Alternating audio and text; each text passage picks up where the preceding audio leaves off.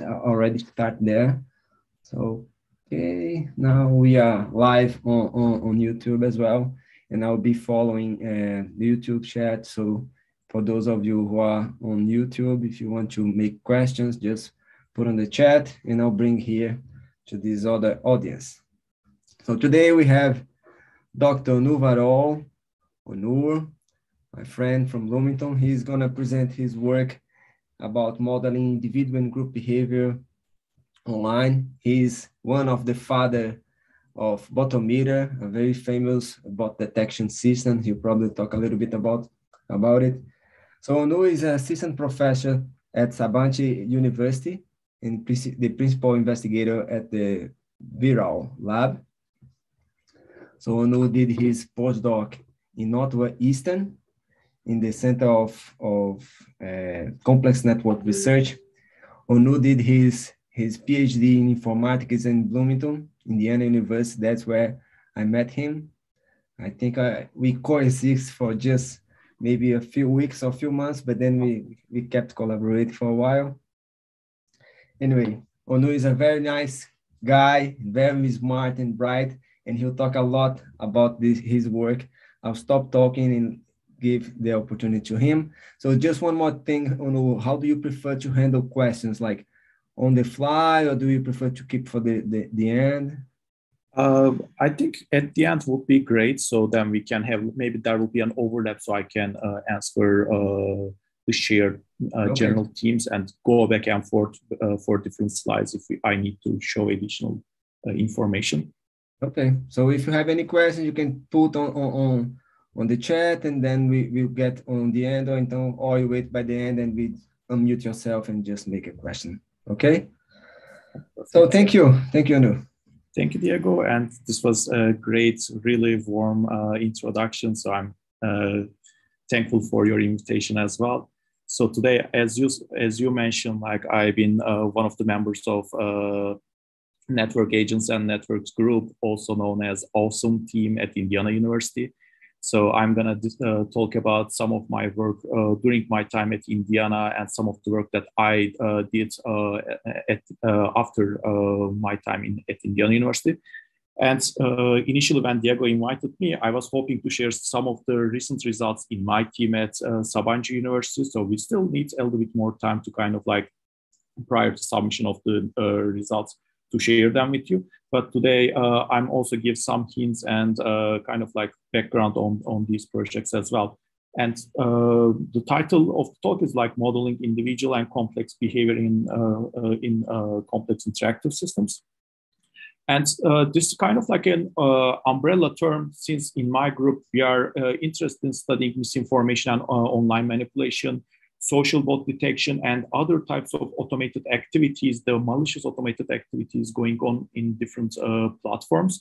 And uh, during my postdocs and uh, pretty much towards the end of, end, uh, of my PhD, I also involved in projects uh, deal with mental health research and uh, quantify and analyzing well-being and science of science. And currently in our lab, we are also touching these topics for the research.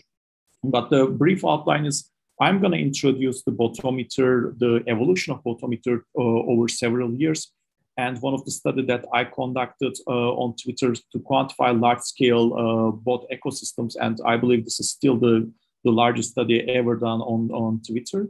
And we did a case study on 2016 US presidential election, demonstrated different uh, bot strategies, behaviors uh, for these electoral systems. And I'm gonna talk about like some of the research plan that I've been doing in my research group uh, dealing with uh, human behavior and how we can leverage online and offline data. So starting from like going back to an historical perspective, which I always like to relate uh, when we talk about technological systems, the newspaper was, let's say, one form of communication. With the telegram, it gives us an opportunity to bring people to the public spaces where politicians can address to a crowd of people to communicate their opinions and, uh, and ideas. And with the development of technology, with telephone, radio, tele, uh, televisions, we start to see different uh, types of communication. So in 1922, we see the first American president like uh, reaching to a nation through radio. We see with the television the first online debates and the political advertisement, which is I think an interesting turning point for the for the political communication as well. And with the uh, in the age of internet, uh, things get a little bit uh, different. So being from one to many uh, communication medium now, people, voters, uh, uh, citizens can also participate these political debates. They can go on Reddit, they can go on Twitter and share their opinions, interact with these political candidates. Even the political candidates among each other can fight, having a debates on, on these platforms. And uh, this brings a different dynamics on these systems as well. One of which is social bots, uh, the automated technologies that we can generalize, because we know uh, from different case studies, evidences, the so- social bots have been used to manipulate stock markets. They have been used for uh, political smearing campaigns, astroturfing. Uh, the politicians can purchase fake followers to look more credible or, uh, or popular. And nowadays, it's almost not, not, not, a surprise to see social bots being used for marketing, spamming, and social pollution. But one thing that really worries me is their use of uh, social bots affecting mood and behavior of individuals. And this is where we need to be really careful. And one of the other factors when we are talking about social bots that I wanted to uh, make it clear at the very beginning is people tend to see social bots as a binary uh, system. Something is either a social bot or either organic human being activities. But what we are really uh, promoting the idea of social bots can be somewhere in between as well. So it's a spectrum, how much automation one can use. So there might be accounts uh, the content uh, is generated fully by humans, but the network automation can be uh, scripted. So who to follow, who to unfollow can be uh, controlled by uh, computer uh, programs. Or even nowadays, some profile pictures can be generated using deep learning technologies, text, or the engagements, interactions can be automated through deep NLP technologies as well. So it's always good to keep in mind this human bot uh, ecosystem have uh, captured different types of dynamics. So there's no one type of bots in these systems. And in order to quantify, we first need a tool. So this is like really back in 2016, 17, where we started to build the botometer. Uh, at that time, me, uh, Clayton, and uh, our PIs uh, Emilio Ferrara, we were developing this tool uh, called Botometer to identify automated uh, user activities. So there was like several uh, rounds of updates with these systems where we in introduced new features or different training data set. But the main goal was uh, always the same. We wanted to quantify how much automated activity an account may contain in my case, uh, my bot scores is quite low. This is uh, luckily indicates I behave more human-likely in, uh, on these platforms. You can check out different accounts. You can check the followers or friends of these accounts to really uh, benefit from these tools for the research or, or, or uh, any other activities uh, to study complex social systems. And when we start building Botometer, it was a, supervised machine learning activity. So I extracted uh, over a thousand of features, capturing various different aspects of an uh, social media account. And at the time, my only goal wasn't uh, detecting social bots. The same model, the same set of features with different training data sets also used with quite high accuracy to separate uh, organizational accounts versus uh, human accounts as well. But the popular model that we are been using is for, uh, for bot detection purposes. And we touch upon extracted features from user metadata, looking at their friends, uh, some uh, level of content and sentiment features, and we extracted features from different type of network and temporal informations. And in order to kind of like bootstrap such a model, we first start already existing training data set. And one of the most uh, accessible and popular one at the time was by James Caverlee. So they were uh, using an uh, approach uh, of honeypot strategies. So they were releasing uh, accounts. They are basically creating gibberish content, the text text that doesn't mean anything, and they look at who follow an account producing only gibberish content and they identify those accounts being uh, uh, social bots. They label them as bots, and they also have a counterpart uh, of the data set where they uh, also label humans.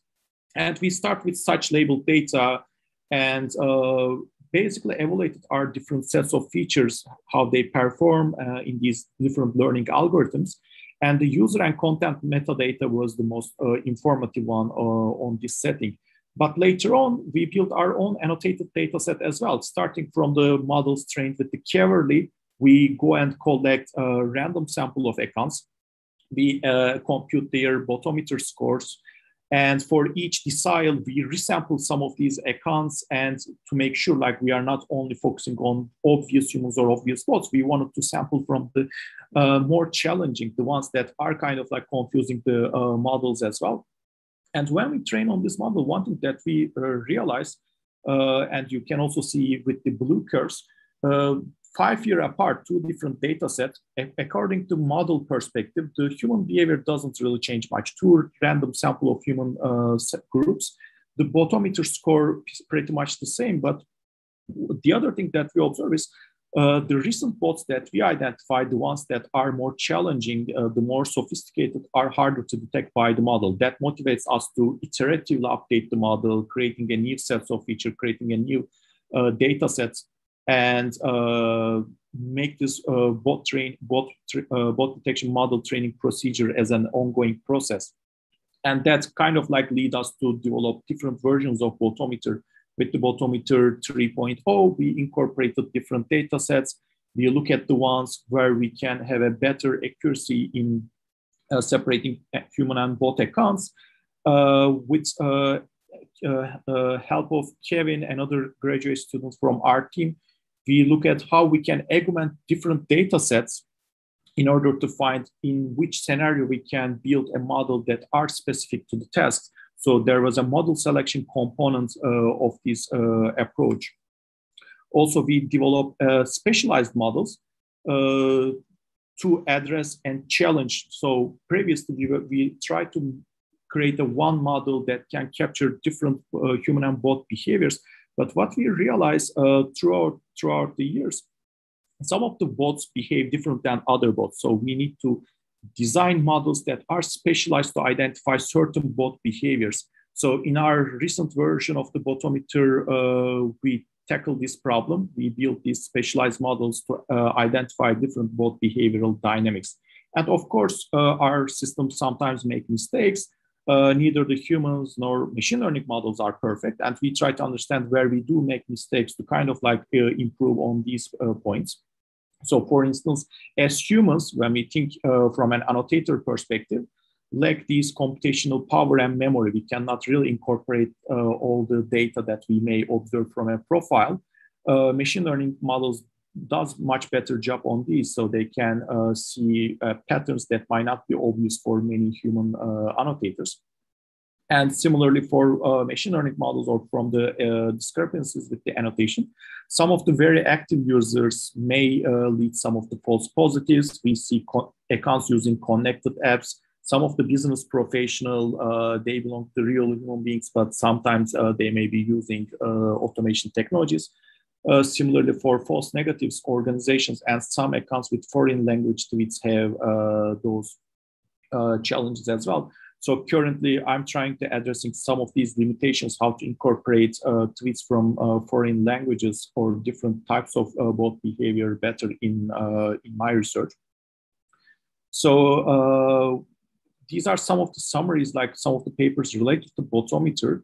And uh, in a large scale study, so once we have this tool instrument to detect and identify social bot accounts, we can start look at a large system we uh, conduct the study over a 14 million active English-speaking Twitter accounts, and we try to address some of these problems. We try to estimate for the first time uh, what's the fraction of bot likely accounts on Twitter, and we could ask what's the information flow between them. Does information spread from humans to bots, or bots are spreading this information? How are they connected to each other? And uh, can, that, can we identify different behavioral clusters of these uh, social bot accounts? And in order to estimate the bot population, we start by uh, training models with different sensitivities to different uh, bot activities. So by uh, incorporating different levels of uh, complex bot behaviors in the data set, we have models that are more forgiven uh, to some bot behavior and the others are more restrict, uh, strict for uh, identifying bot behaviors. And by looking at these different range of uh, model uh, models, we estimated 9 to 15 of 9 to 15 percent of these active uh, English-speaking social user users on Twitter being social bot-like behavior. So they've been using automated activities. And in order to kind of like also talk about the uh, interaction between human and bot accounts, I just gonna show one illustrative figure to make it easier to follow the following slides. So here on the x-axis, we have the botometer score and the y-axis showing the distribution. So for us, we uh, are expecting to see human accounts having lower bot scores. So these are the ones uh, modeled are assigning lower scores. Some accounts that are uh, harder to distinguish, gets uh, um, higher scores, but not uh, in the range of like really uh, higher scores. So we call these a sophisticated, more complex behavioral accounts. These are more trickier cases for the model.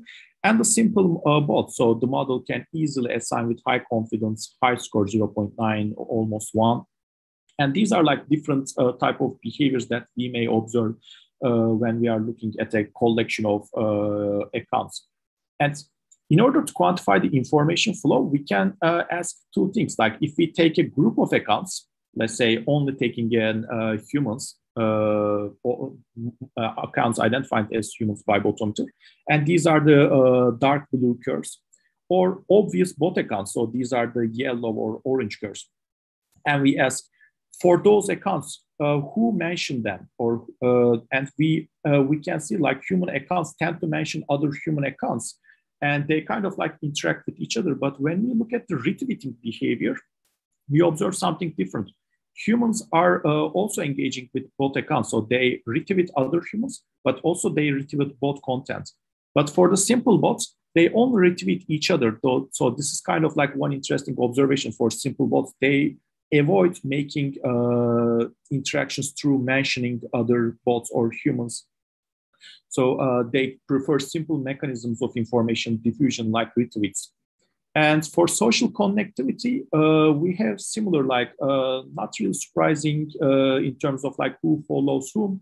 So people tend to friends with uh, other uh, humans, bots tend to friend with other bots. But one thing that's interesting when we look at the reciprocity between them. So when we compare friends and followers and the overlap between these two groups, humans tend to have a high reciprocity rate. So most of your friends uh, on Twitter also following you back. So you don't uh, surprise to see high reciprocity because you kind of like having these mutual uh, relation uh, with your followers. But for the simple bots, we observe uh, two different extreme cases. So some of the bot accounts have really low reciprocity rates. So they keep following people, but they never follow back. So their activities of following pretty random or they may have a high reciprocity rate, extreme high reciprocity rate. That means they might creating these cliques, everyone following each other, so building these tight uh, bot uh, groups to promote or uh, support each other's activities. And in terms of account behavior, we could also use our feature sets that we uh, feed into Botometer and look for a lower dimensional projection and see how these groups are different from uh, each other uh, by investigating some examples from these different uh, clusters, what we realize some of the accounts that we observe is uh, self-promoting accounts. So these are business professional recruiters. So they may look like uh, to belong in human account, but they are using these automation technologies to create content or engagements. Some obvious spam bots that we observe. Some of the uh, groups that we observe uh, is mix of sophisticated bots and cyborgs. So they have some human organic activities, but they have been also using automated activities. And one interesting group that is kind of like outliers and also motivate us for uh, further research question is accounts that use automated apps. So those are accounts uh, when we investigated them look like belonging their real human accounts, but uh, these accounts at some point become dormant. So their owners are no longer using Twitters, but before they do that, uh, they connected their Twitter account with some third party app. They connected it with Spotify, YouTube, some other services. And these services keep posting on their behalf because they give these credentials to those apps. And uh, from a bot detection standpoint, when we look at the last activities and keep saying similar content with a regular interval, that is kind of like an automated activity which was controlled by these third-party apps. And it's also a concern for us. Uh, Twitter uh, could do a uh, uh, more careful uh, procedure when they are allowing these third-party apps uh, being an active after even after the accounts turn into a dormant because there are risks involved so there might be third-party apps waiting for an like a bump waiting for these accounts being dormant and they might be used for manipulating trends creating or following mass following activities so uh, I always here wanted to share my concerns about these third-party applications on this uh, platform.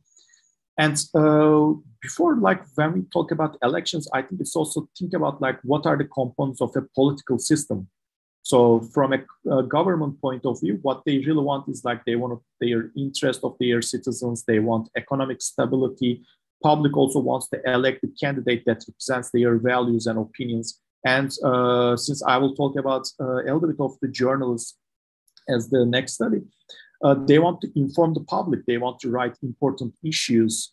But uh, what in reality happens is like uh, government wants to get reelected, journalists want to have large readership, uh, they care about their personal branding, they wanted to be the first to break the news. And all these dynamics uh, introduce the use with the use of online social systems is creating uh, different incentives and uh, different concerns for us. And particularly from the social bot activity uh, point of view. So we see lots of papers, evidences coming from like in the past five to 10 years, uh, how social bots have been used to uh, manipulate online campaigns, especially recently about uh, dissemination of fake news and uh, uh, infodemics and the spread of like uh, the conspiracy theories as well. So in order to, to study such uh, activities, uh, the OSoMe team built a tool called Hoaxy, and Hoaxy has been using Botometer in their backend to identify when they are looking for the dissemination activities, any piece of information spreading from one user to the another uh, we can also identify which of these accounts are actually social bot accounts, automated accounts. And we look for two different sources. One was uh, low credibility sources. These are uh, uh domains. Uh, they are sharing uh, misleading information and many times verified by professional fact checkers and their counterparts. So the fact-checking organizations such as factcheck.org, Snoops, Snopes, PolitiFact, and so on, try to kind of like uh, correct these uh, content, uh, misleading content online. And uh, one of the concerns we have here is when you are, uh, when you look at like the popularity distributions of these low credibility and fact-checking content, their popularity distributions uh, look pretty similar to each other. So if you randomly select, let's say, uh, a content with 1,000 engagement, 1,000 retweets, it may very much be a low credibility source or a fact-checking content as well. And this kind of like creates a problem. Like the one on the right-hand side, the popular spreading activity is actually one conspiracy theory about Hillary Clinton campaign and their involvement in uh, Pizzagate and lots of interconnecting uh, conspiracy uh, uh, content and events. And uh, looking at like 2016 election, we try to identify how uh, bots have been using and uh, de deploying some strategies to spread this information. And one of the things that we compare with the low credible sources and fact checking, try to understand the strategies of bots is uh, how frequently they post, what are the uh, uh, activities of the bot involvement. So less popular content, we see higher involvement of social bots. Uh, but that's kind of like pretty uh, uh, uh, constant for the fact checking counterpart. So we know, like on Twitter, at any given point when we were estimating 9 to 15% of bot involvement, that's kind of our range for any fact checking content. But that rates are uh, reaching quite high, up to 60%, 70% uh, for less popular, low credibility sources. And the concerning thing, uh, as times goes on, as the articles are getting more popular and popular, the bot involvement is also reducing, and uh, some of the humans are participating in these uh, discussions as well. And in order to better support that, uh, we also look at uh, the uh, activities of retweeting and content creators. So on the x-axis, we have the bot score for a retweeter, and the y-axis, we have the bot score of a content creator, the originator. And one of the things is like when a bot account creates the content, many of these their retweeters are actually coming from the human side. So humans are falling into these misleading content and they are spreading among their uh, follower bases which is a concern for us. And uh, another strategy that we observe uh, by social bots is how strategic they are in terms of like their timing.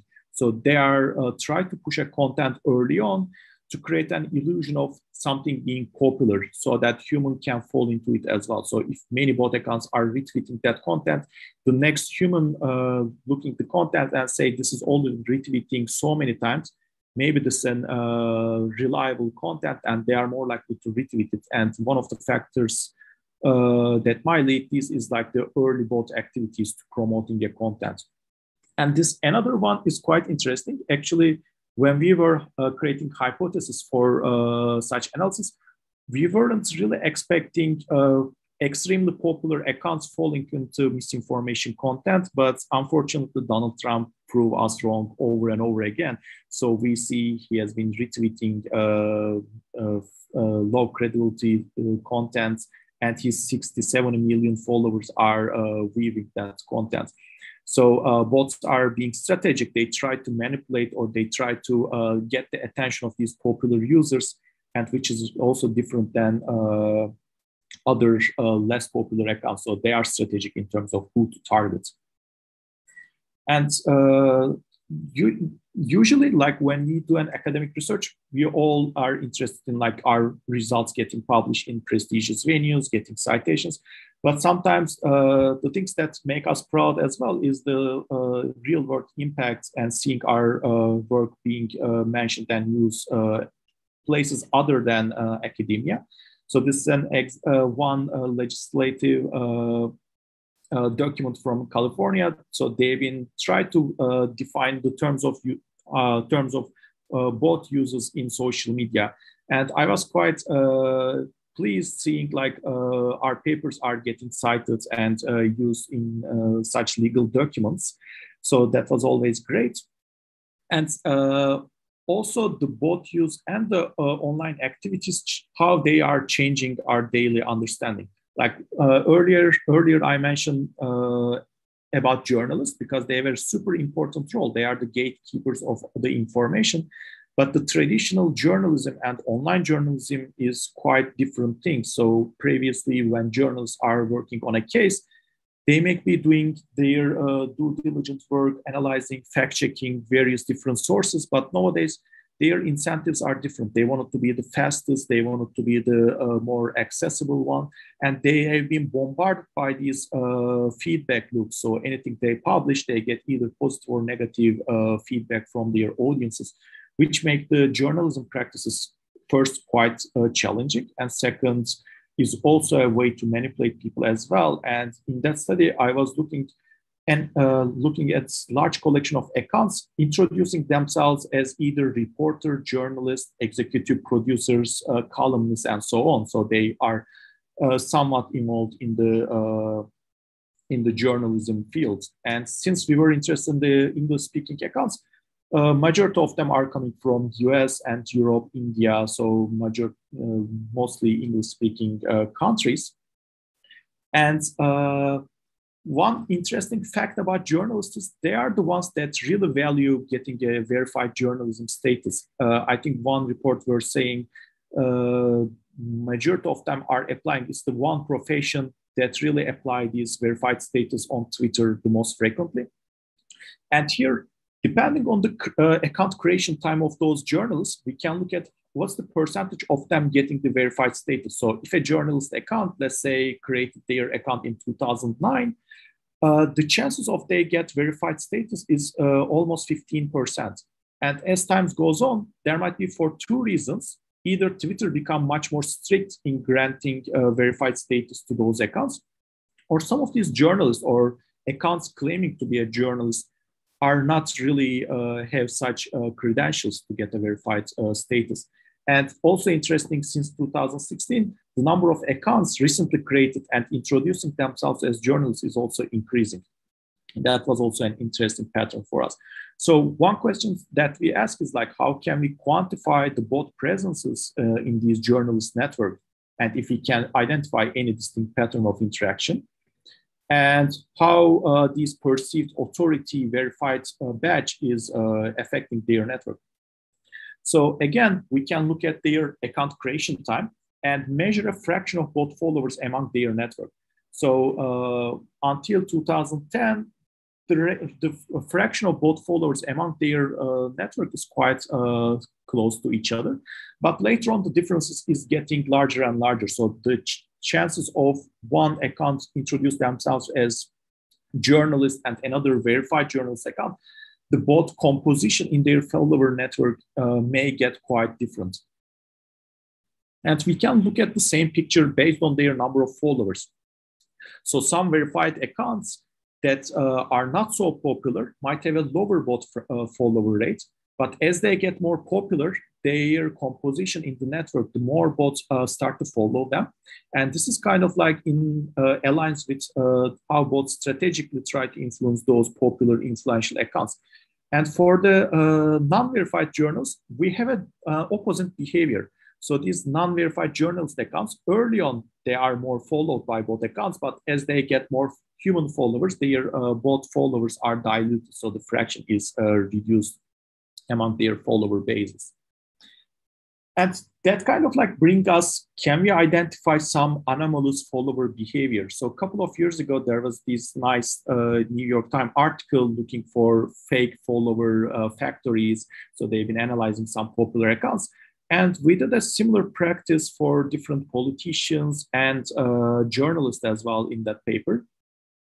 And normally, when I, I kind of like presenting this in an uh, uh, un, uh, non-online setting, I kind of like look for the audience and see whether they can point out the strangely looking piece of this uh, figure.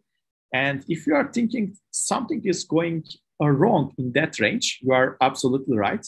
And let me explain this figure to better uh, understand what's going on here. So on Twitter API, we can get the chronological uh, rank of the followers. So from first follower to the last follower, we can get their uh, ranked information. And for each of these dots on the top figure, we can also ask each of these followers account creation time. So when these accounts are created.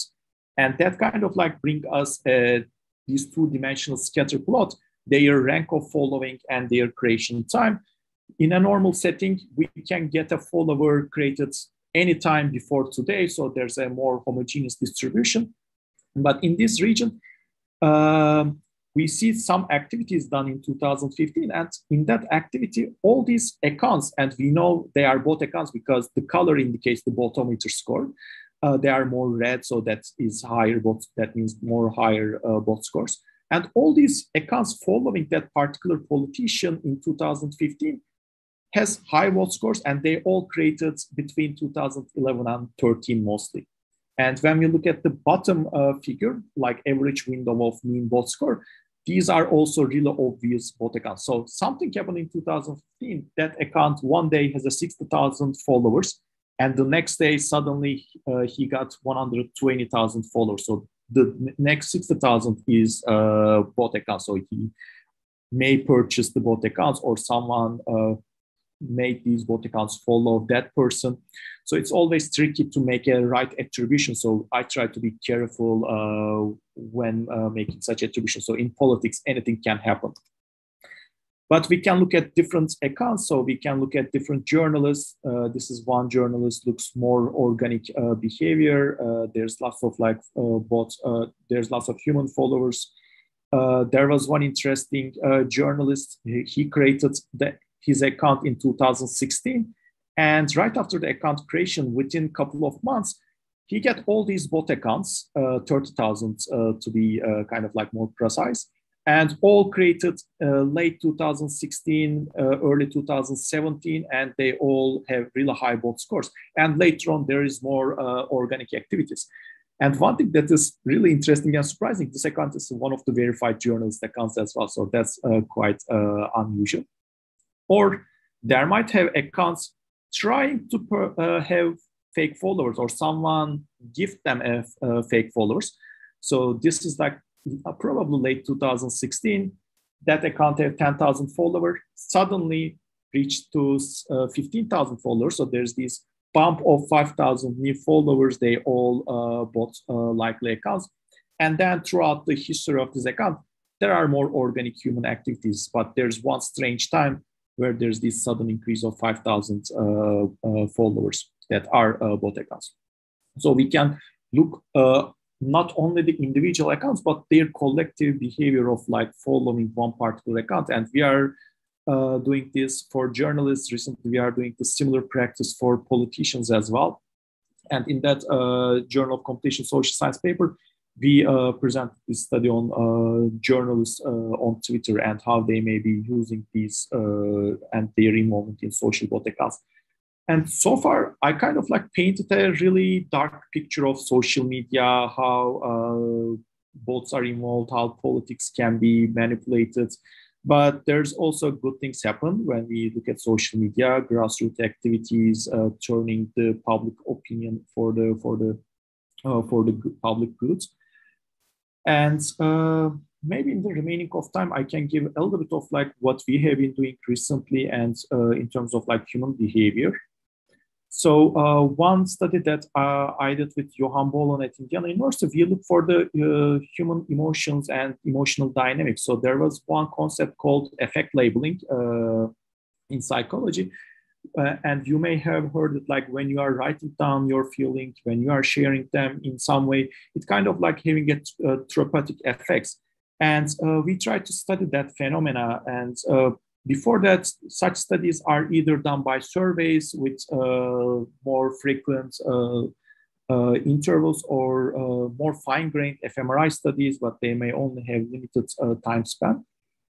What we did was like really going to social media uh, content and looks hundreds of thousands of people, identify when people are sharing their feelings uh, using in a form of like I feel great, I feel amazing, or I feel sad, I feel terrible, so both positive and negative. And we try to align uh, the, their activities around these uh, emotion venting times and analyze the sentiment before and after by excluding these I feel statements and study how the valence is changing around this uh, content. So for the positive, uh, what we observed was there was a build up period. So when you are reaching, I feel great, there's actually uh, about an hour uh, interval when you feel starting to get better and better and better, and then you reach your peak point, and then your positive emotions are decaying in an, another one hour. But uh, interestingly, for the negative one, we uh, observe a quite different pattern. So uh, negative emotions build up uh, much early. And once you went your negative emotions, when you say, I feel terrible, I feel sad, the changes, the returning back to the uh, base levels happens much quickly. So it's kind of like when these negative emotions help us to return our base level much quicker. And we validated it for different uh, tests uh, and measured the uh, significant uh, re re uh, regions uh, and estimate the half-life of these emotions as well. And currently, I've been, I recently received a grant to look for the daylight saving event. And Turkey is actually a quite interesting example and really nice opportunity to look at it because uh, different than most of the European countries where they have been applying daylight saving regularly in the past 10 years, Turkey stopped doing the daylight saving in 2016.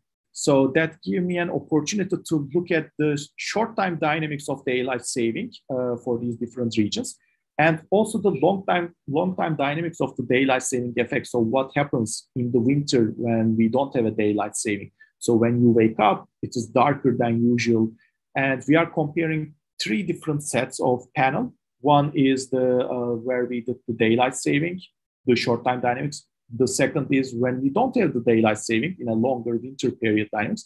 And the COVID period, because uh, for some of us, we don't have such a strong social clock that kind of like force us to wake up at certain time of the uh, year or certain time of the day. So we have been analyzing how uh, our emotions uh, uh, are, uh, are changing in these different uh, periods and we can conduct natural experiments to uh, estimate some causal effects. So one hypothesis that you might think, and actually the below one is a data that I created for the US uh, population. What happens, for instance, when we have a normal circadian rhythm and suddenly daylight saving happens? So what I observed was after the daylight saving, the first morning, the Monday morning, we tend to be less happy, less lower valence. And within three, four days, we return back to normal levels. So we are trying to quantify both these short time dynamics and uh, when we don't have the daylight saving a longer time period.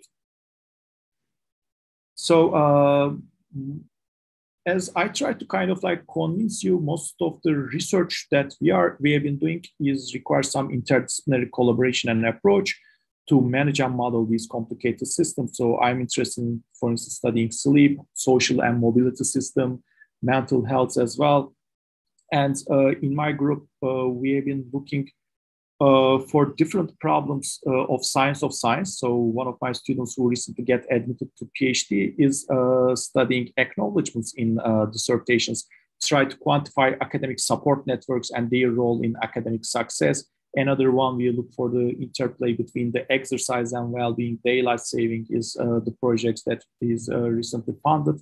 So uh, before I uh, get to the questions, I just want to first uh, thank uh, all the people that I've been working during my PhD and postdoc and some of the funding agencies and to my current team. So hopefully soon uh, we will start sharing our papers and research outcomes. And one thing that I really value about my team is they are coming from a diverse backgrounds. So majority of them are data science uh, students, but their bachelors are maybe from computer science, finance, industrial engineering. Uh, I have students from psychology and economic backgrounds as well. So such richness of backgrounds uh, bringing a unique perspective for uh, various uh, projects for us. So recent study that we have been doing with a fact-checking organization called Teyit uh, in Turkey. Uh, there, there's a team members from economics, psychology, and political science and we are analyzing different aspects of like the misinformation about vaccination. What motivates these actors creating misinformation content? How it uh, affects the audience perspe- perception? And luckily i mean i think this is one fortunate thing we have in turkey is uh, the uh, vaccine hesitancy doesn't really correlate with the political uh, uh, view, unlike in US uh, or uh, other countries. So it's lack of uh, scientific knowledge or access to the scientific knowledge. So there's an hope in that regard because once we communicate our findings with the public, they are less concerned about the vaccines. And since this is not a behavioral attitude, they are more likely to be convinced. So uh, maybe I should uh, stop here and uh, thank again for all your attention. So I'll be really happy to answer your questions. Thank you, Onur. So before anyone put the, the questions on the chat, or if you want to just raise your hand and unmute yourself. So I'll start with the, my first question.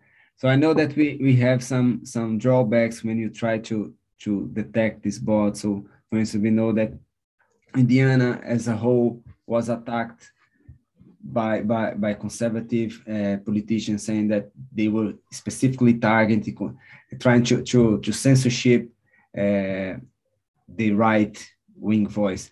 My question is did you receive any personal attack? Like people know or people find you somehow you are linked to to the Botometer do you have did you receive any, any sort of attack Ever? I mean, from time to time, we receive emails. Uh, they usually use uh, the university uh, email, so the group email. Uh, with the recently in Turkey, when we did this uh, vaccine study, anti-vaccine study with Teyit, uh, we really get some personal attacks because we identify some of the disinformation actors and we try to delve into what motivates them to spread the misinformation. So we identify uh, 36 key players that are constantly spreading disinformation. And me and my team get some personal attacks there. So uh, it was interesting. One night, uh, if we were, uh, we get a trending topic actually in Turkey. They were saying the uh, the Teyit team should get to the court or something like that. So they made it a trending topic. Uh, that was quite interesting to see. But I mean, uh, I think it's an important issue. So we should uh, raise our voice, uh, inform the public the best way we can do. Thank you. Sorry, you broke up. Is it me, Diogo? Yeah, it's you. Hi, hello. So, no, thanks, thanks for the talk. I actually have two questions, if that's okay. Yeah, absolutely.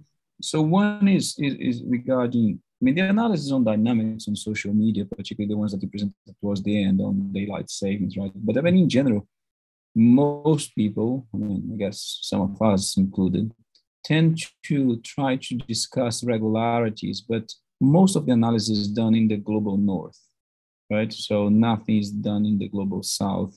So, for instance, um, you take countries like Brazil, where I come from, there isn't a lot of daylight savings in half of the country, right? Uh, what's your view in terms of the universality, I guess, of those uh, studies that try to say that people behave this way and this way when most of the studies is done in Europe or the United States? Uh, when I presented in the US study, I actually look for the uh, geolocated information as well. So I identified some of these accounts is actually posted at least one tweet from certain region. So uh, from the Australian uh, part, so in the south, when people are uh, speaking uh, English and uh, one of the coordinates there, uh, we see a reverse effect as well. So we haven't fully go into that detail, but when we are generalizing this, it's actually a concern for us as well because we cannot really take all the English tweets and make a large claim because there's a significant population. They might be observing negative, uh, the opposite effects, so they might uh, actually influence our the effect sizes that we observe in, an, in a negative uh, way. So we need to take into account. Uh, and uh, one can do a generalized study looking for only the South uh, countries and and compare for both. So the Turkey example, the grants that I mentioned, the, what makes Turkey special in that regard is they stopped uh, applying daylight saving in 2016.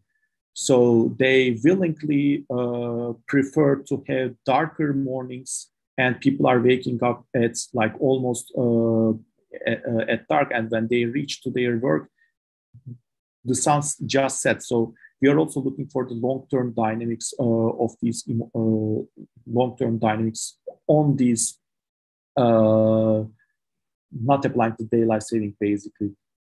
So we can compare one year that has the daylight saving and the other year that doesn't have daylight saving and uh, how the winter white the uh, well-being is influenced by that. In fact, I mean, the, the comment about the, I mean, the sadness, right, that people feel a little, I mean, sad or something that is what triggered my question uh, because I mean, countries like where I come from, I mean, uh, there isn't there isn't any difference in any part of the year. Things, I mean, get darker or light. I mean, it, it, it's going to be a sunset is at six o'clock, sunrise at six o'clock, and and, and so uh, have you seen if if and we used to have daylight savings and now we don't uh, for obvious reasons, I suppose. Uh, have you have you had a chance to see if so if for the is... long term time for the long term so comparing daylight saving years and non-daylight saving years we haven't uh, carried out the full causal analysis on that yet but for the short term dynamics it influences uh, the behavior for a couple of days so that's the kind of like an uh, uh intervention or one uh, uh, stimuli and how you react to it. I think for the longer term dynamics, maybe it will be uh, good to look at like the health statistics, health uh, and the depression statistics and so on. So using medical health records could be a better alternative. So we try to get access to the Turkish Ministry of uh, Health databases to be able to compare uh, before 2016 and after 2016. And my other question, so sorry, but and I hope this one is brief, is, is has to do with the, the, the work on misinformation, right? That was Diogo is interested as well. I mean, I mean, recently we've seen, well, recently for me, I suppose, but there is this phenomenon on the birds are not real, right? Uh, that I don't know if you heard this. I mean, there is a uh, group sorry, I missed, I think it's called Birds Are Not Real. Uh, so I don't know if you heard of it, but it's basically they they had even like gatherings in front of Twitter uh, saying that they need to change their logo because um, the birds are basically a government drone. So the, the stories that 30 years ago all the birds got killed. So the pigeons one, right? The pigeons. Yeah, so in fact, it's every bird. Uh, but I mean, that, that we know that that is what I would call some sort of meta fake news because they they are not. I mean, they don't believe birds are not real, but they basically do it as, a, as like almost like a, a the onion kind of thing. But it has attracted people who actually believe it to be a real uh, sort of conspiracy theory and um, and I was wondering if you ever had a chance to actually look if the dynamics of things such as this, that um, if they actually follow the same dynamics of real conspiracy, fake news, misinformation uh, that we have, like, yeah, others. Yeah, I mean, so far what we are have been looking at, as you said, like looking for the population level behavior, what they share, spreading activities but recently, I'm more interested in looking for the individual level uh, activities, why people tend to believe conspiracy theories, how their environment or their initial mental models are influencing their beliefs. So that's actually the proposal that I uh, submitted to ERC to be able to model the uh, conspiracy belief at an individual level. So if it that that's something that I'm gonna uh, thrill to study in the next five years, and I really believe it's an important issue because the motivations to believing in a conspiracy may differ from individual to individual. Some may really uh, make the wrong association between different concepts and they strongly believe in it, or the others may uh, just uh, do it for other purposes. So, uh, the, this, what motivates the, let's say, Turkish anti vaccine uh, dis- disinformation creators is some of them are really the power. So they wanted to be more influential on the network. Some of them has monetary uh, benefits. So they are selling healing crystals or uh, some uh, medicinal things herbs and so on promising them that will have uh, health benefits.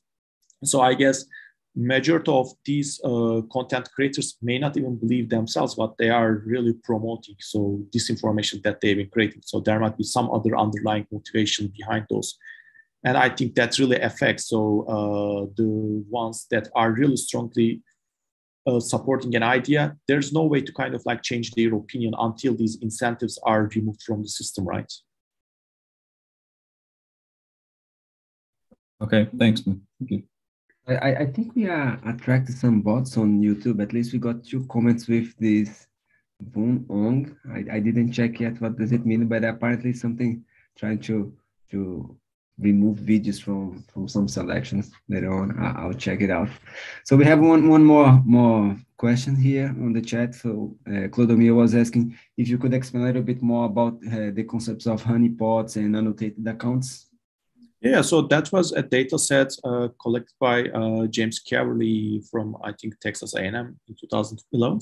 So what they did was uh, they created these uh, social media accounts and they automated the content creation, but the content that they create has uh, no meaning basically. So no real human can interact to any of the content their accounts uh, creates. So they basically look at which accounts are following those which accounts follow their accounts and if they are following a, if these accounts follow an account with minimal uh, information, so they basically doesn't share any useful information in their uh, tweets, they uh, assume they might be social bots. So they randomly follow these accounts and they label the bot accounts in their data sets using such an uh, approach. So it's kind of like one way of uh, annotating through these heuristics Another way is like trained uh, individuals to annotate uh, the accounts which we follow.